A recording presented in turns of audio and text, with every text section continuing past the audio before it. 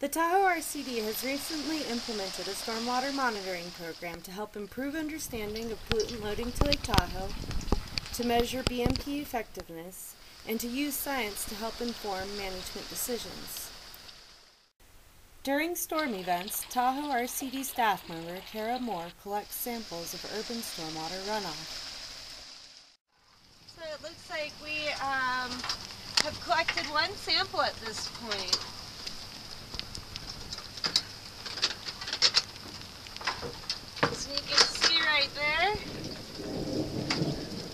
Collected one. That's our first flush sample for this storm. And um, it'll be collecting another sample in, um, see, about 125 cubic feet. So. Oh, These are all the samples that we collected at our different sites. We've now processed all of the samples. They're ready to go off to the lab, to TERC and UC Davis. And we have taken turbidity measurements for all of these samples here.